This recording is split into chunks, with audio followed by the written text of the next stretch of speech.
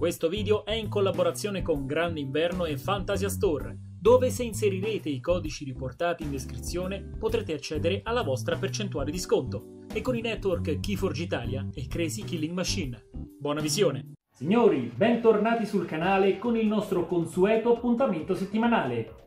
Ed eccoci tornati con il terzo episodio di MSMV, il Moso Mazzi Vostri, la rubrica che svelerà i segreti più reconditi dei vostri mazzi.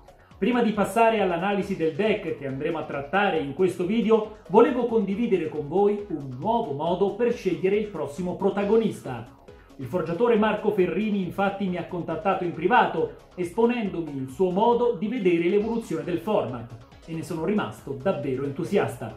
Infatti, per la prossima puntata di MSMV si avranno tre mazzi proposti in un sondaggio sulla pagina Facebook di Keyforge, il link lo trovate in descrizione, e dovrete votare secondo il vostro personale parere quali dei tre verrebbe escluso in una gara, proprio come se stesse giocando in un torneo tripletta.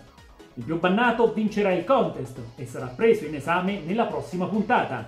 Ringrazio quindi Marco Ferrini per la proposta che verrà sicuramente messa in pratica dal prossimo episodio.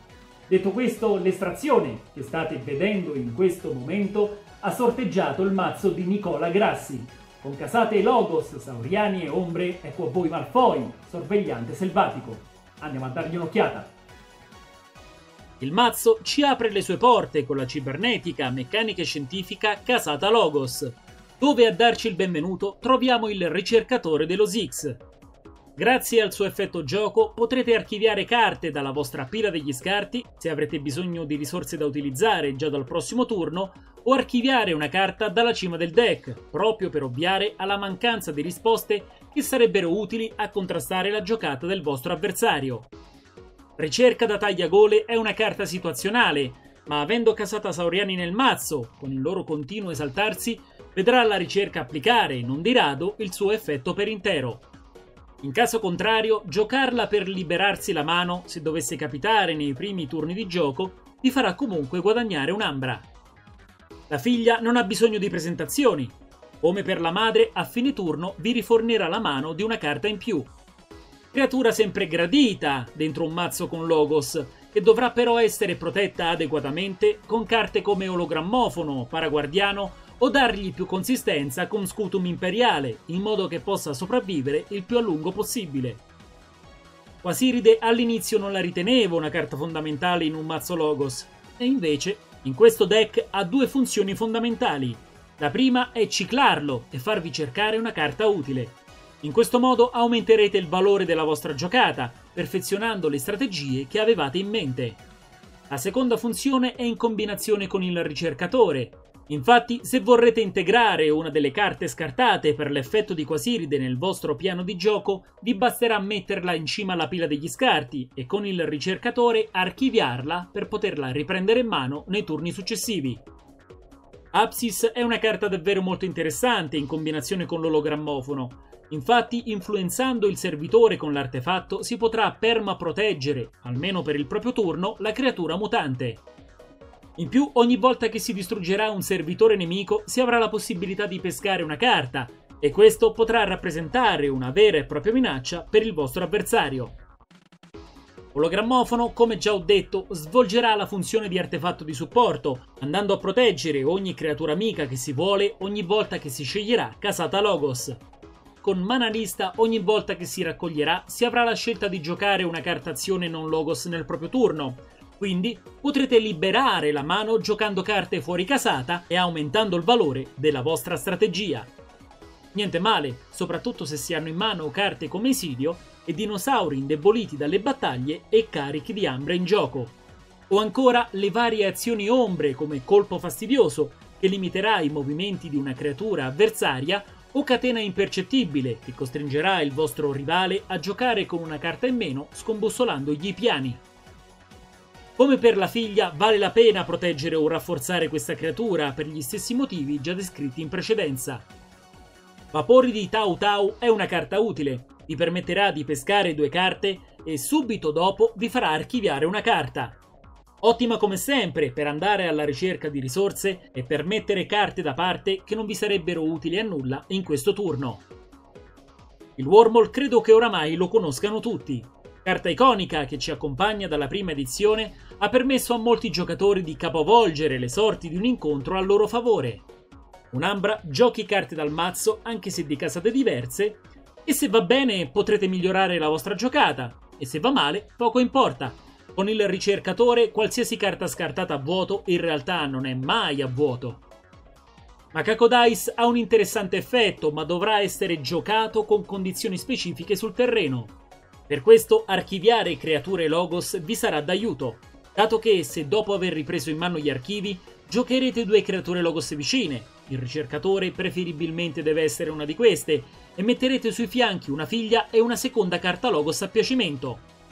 Posizionando il macaco tra il ricercatore e la sua vicina non sul fianco, potrete archiviare queste ultime, permettendovi di utilizzare l'effetto del membro dello Six una seconda volta nei turni successivi e mantenere il vantaggio carte facendo rimanere la figlia in gioco. In più otterrete due ambre. Il carro Ide armato, a meno che non si presenti l'occasione giusta, lo vedo solo come servitore da ambra, dato che il suo effetto riguarda tutte le creature presenti in gioco. Nel peggiore dei casi sarà utile per portare a casa una gemma e fare presenza in board.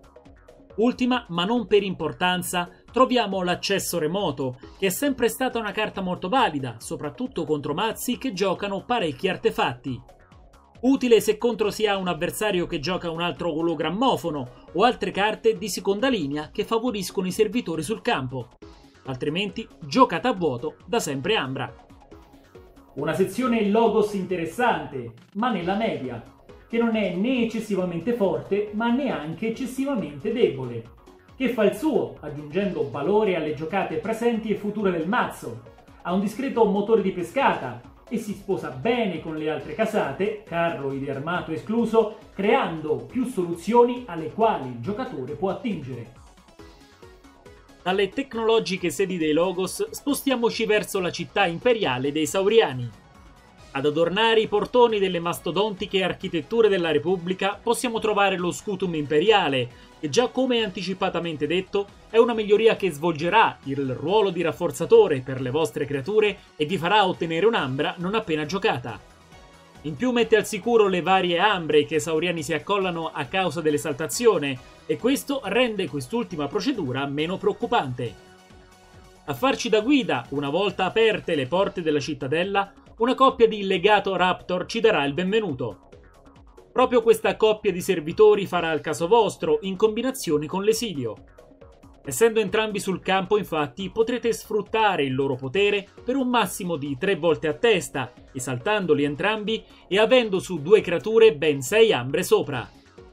Se avrete fatto bene i calcoli, i due legato avranno ancora poco da vivere e con la doppia coppia di esilio passerete il controllo dei due sauriani al vostro avversario, per poi utilizzare il colpo della falange per finire l'opera.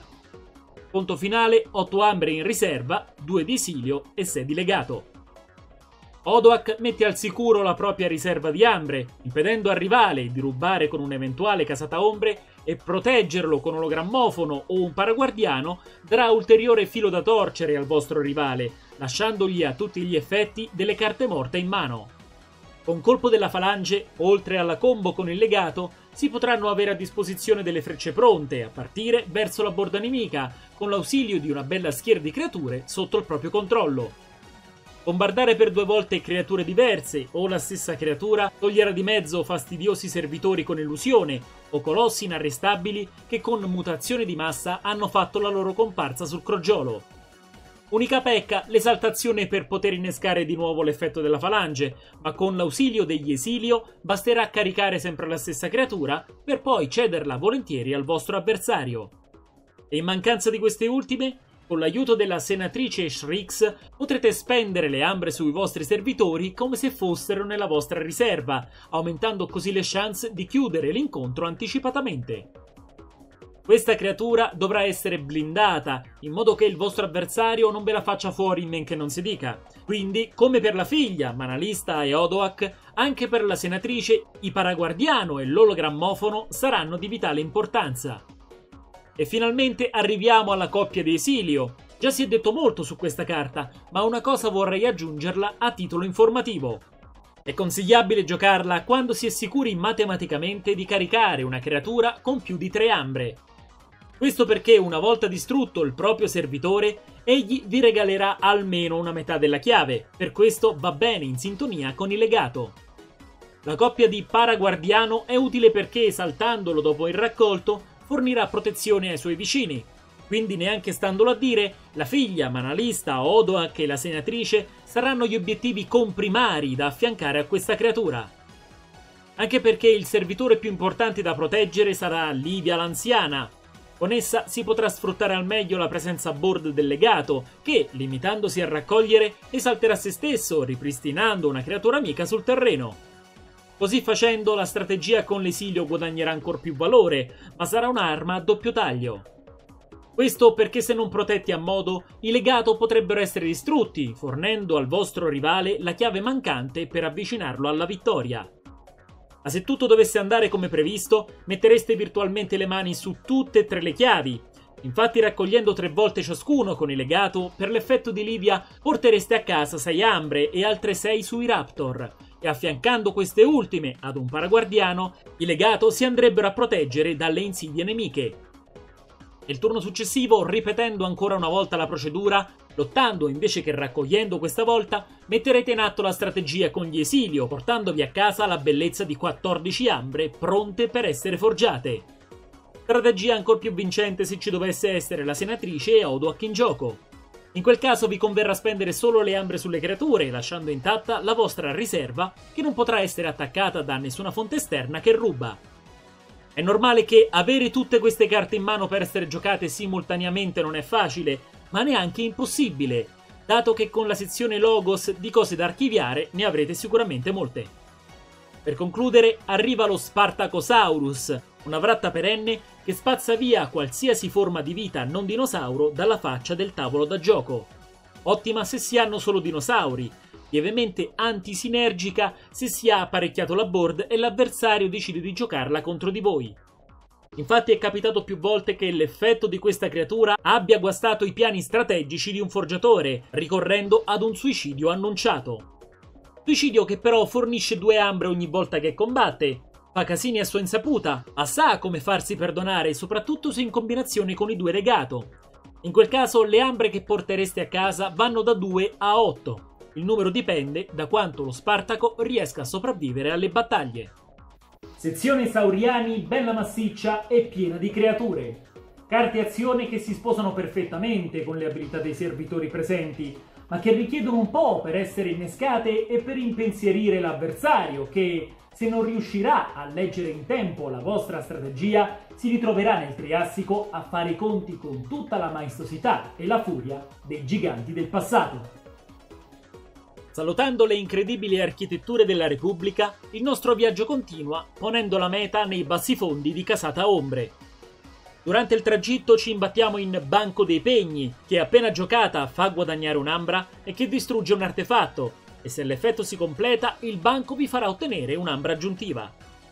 Entrando nei bassi fondi veri e propri, Cipalippa fa la sua comparsa e con il suo effetto gioco va a catturare un'ambra dal vostro avversario e se quest'ultimo ha più chiavi forgiate di voi, ne ruba un'altra. Se riuscirete a completare l'effetto per intero, rallenterete la forgia del vostro rivale, beneficiando attivamente di qualche pezzo di chiave ancora non forgiata qui e là.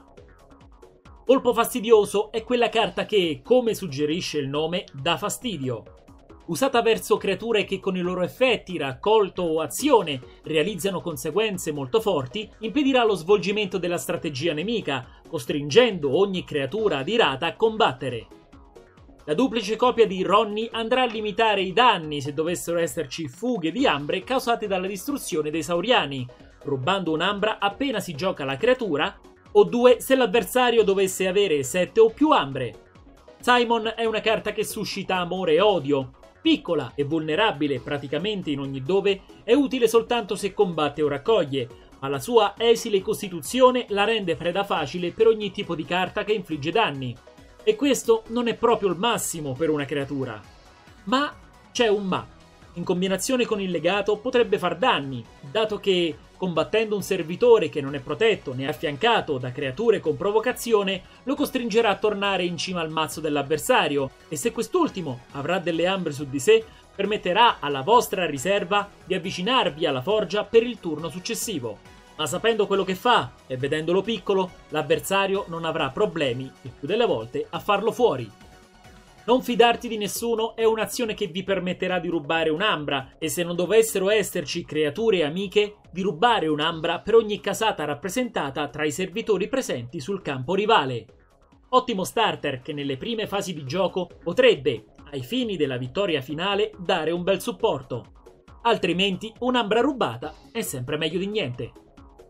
La gang della catena è una carta che mi ha sempre incuriosito. Se si ha in mano assieme a catena impercettibile, la loro combinazione vi permetterà nello stesso turno di scartare una carta dalla mano del vostro rivale, di rubare un'ambra dalla riserva avversaria e di rimescolare la catena impercettibile nel vostro mazzo.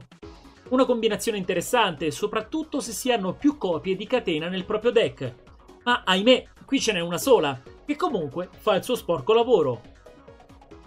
Della carta segreta ne abbiamo parlato in sezione Logos, carta che epura dal gioco creature piccole, rappresenta l'incubo peggiore di ogni figlia, Fagin, John Smith e qualsiasi creatura che ha piccola forza ma grande effetto. È pur vero che se si giocherà contro mazzi board, questa carta lascerà il tempo che trova, non avendo impiego per tutta la durata della partita. In quel caso, scartarla il prima possibile per liberare la mano rappresenterà la scelta più saggia e giusta da fare. Altrimenti, piccole creature, diti addio alla partita. Catena impercettibile è la gemella ombre di aculei mentali di Casata Dis, ma con un'arma in più. La catena ha una carta di supporto che interagisce con essa, ovvero la gang della catena. Se utilizzata bene e nel timing giusto, questa combinazione di carte rappresenterà una vera e propria spina nel fianco per il vostro avversario, che si ritroverà turno dopo turno ad avere una carta in meno da giocare. Anche qui proteggere la gang per rubare di continuo e per pescare le catene il più presto possibile rappresenterà una strategia valida, ma allo stesso tempo macchinosa, che rallenterà il motore dell'intero mazzo. Quindi, a differenza di Livia e tutte le altre carte che dovrebbero essere protette, proteggere la gang in attesa dell'uscita delle catene non ne varrà la pena. Dondola la vedo davvero fragile, se disgraziatamente si trova su un fianco, viene distrutta e se un giocatore forgia una chiave, otteniamo due. Va bene il fatto che ha schieramento, va bene il fatto che ha elusione, ma rimane pur sempre 1-1 di costituzione. Con Simon e la talpa nei logos forma il trio fragile e potrebbe far crollare i propri schemi di gioco. Unica utilità prima che il vostro avversario crei una chiave e se si sono rubate ambre per quel che si può fare, avere due gemme non appena il rivale forgia rappresenta tuttavia un buon compromesso.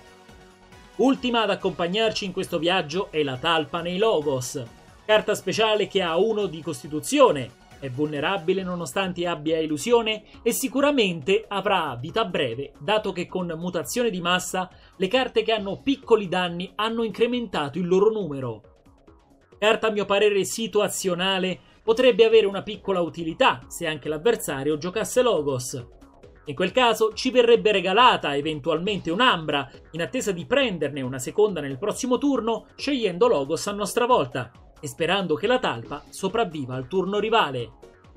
Ma se così non dovesse essere, bisognerà far pace con il fatto che, probabilmente, quell'ambra, che prendereste scegliendo la casata dei meccanici e degli scienziati, non farà mai comparsa nella vostra riserva. Una sezione ombre che non mi convince più di tanto, a differenza delle altre due che comunque qualcosa da dire ce l'hanno e possono seguire una strategia ben definita.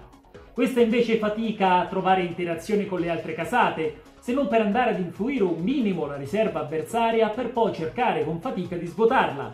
E in più presenta soltanto un paio di combinazioni utili, ma che comunque non cambierebbero le sorti di un incontro nell'immediato. Per quanto riguarda il mazzo invece lo trovo interessante, ma soltanto per farsi un paio di partite di test, anche se a prima vista risulta essere macchinoso.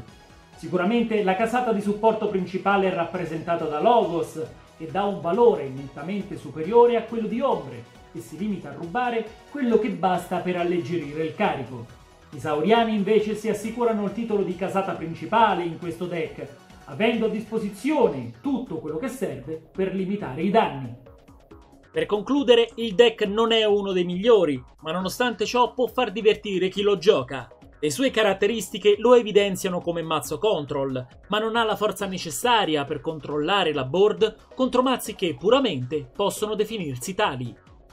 Quindi rimane un mazzo nella media, che non è né carne né pesce e che non consiglio di giocare in circuiti competitivi di alto livello. Lo consiglio invece, al massimo, per partecipare a qualche evento locale con un grande in bocca al lupo e per sfidare i propri amici in una partita amichevole. Mi auguro che questo video sia stato di vostro gradimento. Prima di salutarvi vi invito ad iscrivervi ai canali che sono comparsi in sovrimpressione per seguire in maniera attiva ogni contenuto e per sostenere la community.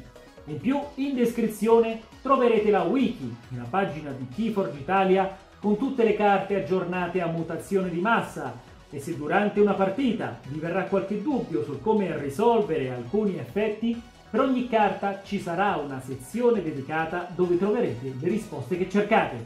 Vi ringrazio di essere stati in mia compagnia, noi ci vediamo al prossimo video.